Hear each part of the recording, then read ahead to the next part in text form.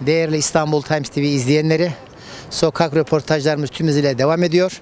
Şimdi de İstanbul'un en büyük ilçesi Esenyurt'tayız. Vatandaşlarımıza eee, Yüksek Seçim Kurulu'nun seçim tekrarı için ne düşündüklerini soracağız. Hep beraber izliyoruz. Seçim Kurulu seçimi iptal etti. Bu doğru mu yanlış mı sizce? Yanlıştı. Ne? Şimdi o hakimler Allah'a yemin edir, Kur'an'a yemin edir. O Allah'a, Kur'an'a yemin ettiği için onu ona karim olacaktır. Ben bir vatandaşım, benim de burada konuşma hakkım var. Tabii. Benim de hakkım var. O ona e, riayet etti o Kur'an'a ki ben milletime güzel şeyler yapacağım. Ben bir hakimim, yargıtay hakimiyim.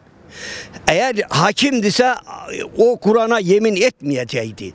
Yalan söyleyecekti. Ama vallahi adama yalan söyledi. Adamın haksız yeri elinden aldı. Bak bu da hepimiz vatandaşık. Yok adalet yok. Adalet olsa böyle yapmazdı.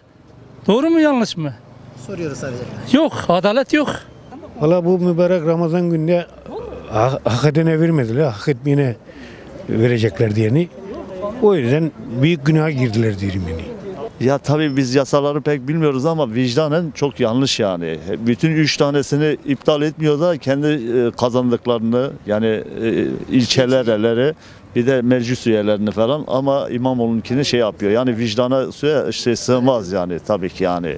Bir de bu şey Ramazan bayramında. Yani hiçbir şey yok. Yani yanlış yani adalet diye bir şey yok yani abi. Adalet diye bir şey yok. AK Parti'nin adaleti AK Parti'nin şu anda. Tek adam rejimi var başka bir şey yok. Hiç hak, hukuk, adalet diye bir şey yok. Hiç hak yok. Çok yanlış. Çok yanlış.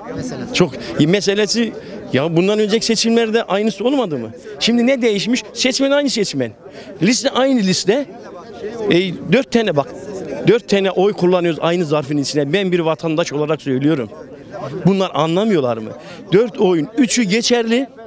Biri geçersiz. Ya böyle bir şey. Ben zihinsel engelliyim. İptal hepsi olur diyorsunuz. Ben hastayım. Mührümü hepsini aynı basmışım. Benim o onlarda zihinsel engelliyim ama ötekisinde kafam yerinde. Ya böyle adalet olur mu? İmamoğlu kazanmıştır, kazanacak da. İnşallah Türkiye güzel olacak. Geleceğinde Cumhurbaşkanı olacak. O doğru değil. Neden doğru? O mecbur kaldı. Baskı altında abi ya yani mecbur kaldı baskı altındadır. Ya istifa edecek. Ya istifa edecekti ya da bu kararı verecek. Başka yolu yoktu. İstifa da edecekti. Bırakmadı. Sakın istifa etmedi. Millet beni rezil eder. İyi karşılaşmıyorum. Zaten oradaki gelen insanlar da kişi insanlar. Yani ne Cumhuriyet, reis, Cumhuriyet reisini şey yapıyor ne de bir şey. Bunu tutanlar tek kişi. Yani ben şimdi konuşma şeyimi şey yaptım söyleyemiyorum da kusura bakma. Yani onda isnaf olsa, onda şeref, vicdan olsa bu hareketi yapmaz ki zaten. Nasıl karşılıyorsunuz iptal kararı? Doğru değil, yanlış. Yanlış. Çok yanlış. Öyle yanlış ki o adam da yanlış yani çok. Değil. Adamın yediği adamın hakkını aldılar. Adamın kazanmış hakkını aldılar yani. Yasaka kararı direktmen yanlıştır. Direktmen yanlıştır. Neden? Neden yanlıştır? Baştan yanlışı vardır e, yasaka'nın. Doğru karar İmamoğlu'nundu. Kazanmıştı. Onay vermesi lazımdı. Fakat biz Bingöl'lü olarak, biz insan olarak, millet olarak biz kararı vermiştik. Eğer İstanbul'u kurtarıyor ise, İstanbul'u idare ediyor idilerse niçin kaybettiler? İdare etseydiler, kaybetmeseydiler, kazansaydılar. Bir emekli 10 lira zamla geçinebilir mi? Eğer bir emekli 10 lira zamla geçinebilirse bu Doğu'da eğer aynı karara aynı cevap verilseydi bir şey diyemezdik. Ama Doğu'da farklı, e, İstanbul'da farklı diyorsa çifte standart var yani. Bu kadar. Skandal. Hukuk açısından bir skandal yani. Artık AYM'e gidecekler, nereye gidecekler bu yani skandal bir karar. Böyle bir şey olur mu? Böyle bir şey adam öldürüyor etse herkes ya seçmen ya, e, o seçmenin hakkına da tecavüz ediyorsunuz. Doğru mu? Yani mecaz anlamda söylüyorum. E, bu, yani böyle bir şey olur mu? Bu, yani hukuk açısından bir skandal. Hukuk açısından milletin hakkına edilmiş bir cinayettir yani bu. Sonuçta siyasi demokrasi var bu ülkede. Ya milletin hakkına tecavüz edildi mecazen. O yüzden yanlış buluyorum. YSK'nın kararını diyorum işte. Ben onların yerine olsaydım o kararı verip de onu iptal etmezdim. Etmezdim. Çünkü onlar demek ki üstten baskı çoktur onlara. Ama onlar da demek ki kendi makamlarını koruyamadılar. Koruyamadılar. Kendi kıymetlerini bilemiyorlar. Son soru- Ben onlara nasıl inanayım?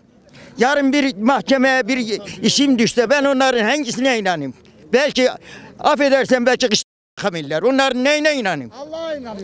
YSK zaten yok ki. Ben onu hiç yok sayıyorum. Onlar kendi de, de- ke- de- halkın tarafında değil ki. Halkı tutmadılar ki. Resmen götürdü verdi. Neden korkunuz ya kardeşim? Neden korkunuz? Elini vicdanına koy öyle şey yap. Sen İmamoğlu bütün halk itiraz ediyor. Bütün halk söylüyor İmamoğlu geldiğine dair. O orada tutuyor geri çeviriyor. Neden o zaman e, Yalo şey, Bursa'daki şeyi iptal etmeden? Niye ikili orada oynuyorsunuz siz? Bir insan elini vicdanına koyup da o şey yapacak. Altındaydı. Ba- baskı altındaydı. Yani baskı yaptılar zorla dedi sen iptal edeceksin. Ben YSK'nın kararına burada 11 tane sonuçta hakim vardır.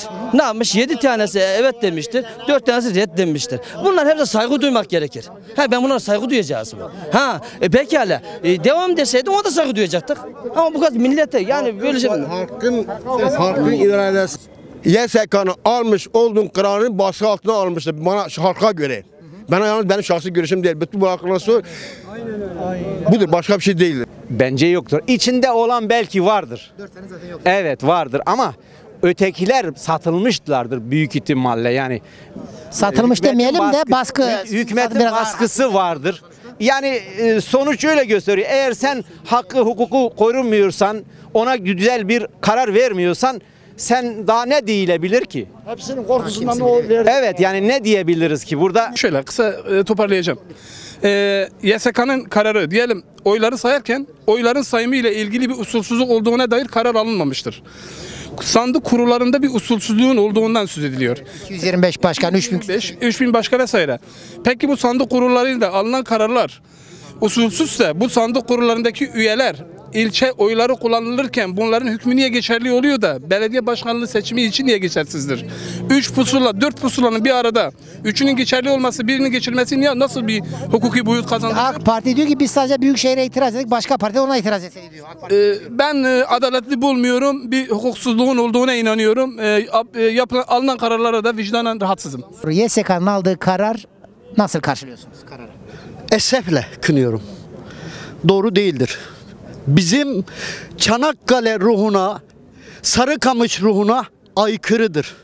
Ben esefle kınıyorum YSK'yı. Kınıyorum ben. Yani e, YSK'nın yani bugün YSK diye ben bence bir kurum yok yani. Öyle bitti diyorsun. Büyük güçler, e, büyük güçler. Yani büyük, hani Türkiye'de bir laf vardır. Büyük balık, küçük balık me- meselesi. Aslında insanlarımızın iradesi elinden alınmıştır. Yani bu bütün topyekün insanlara yapılmış bir haksızlıktır. Hiç e, iyi karşılamıyoruz.